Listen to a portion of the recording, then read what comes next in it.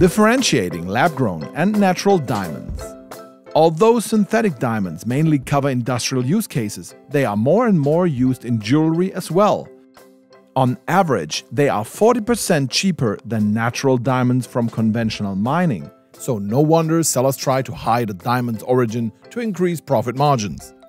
Infrared spectroscopy, however, is not easily deceived. IR can distinguish natural diamonds from those which are potentially synthetic or might have undergone HPHT treatment. Although all diamonds are mainly carbon, they are not chemically identical. Depending on their origin, nitrogen as well as boron can occur in a crystal lattice. Nitrogen is the most important impurity, as its presence or absence is the basis for the classification system. Type 1 contains nitrogen atoms, whereas Type 2 has none. Natural diamonds most often occur with nitrogen groups, which is type 1a and its subgroups. If one of the remaining diamond types is found by IR spectroscopy, chances are very low that they were formed naturally, but if they were, they would be very expensive.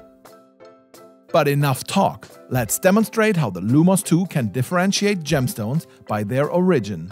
As example, we are using this diamond ring. We put the ring on the sample holder and place the holder underneath the Lumos 2 FTIR microscope. Next, we take an overview image in less than 3 minutes.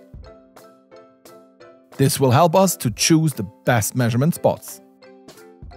We go through the step-by-step -step wizard, place the measurement spots by clicking where we want to measure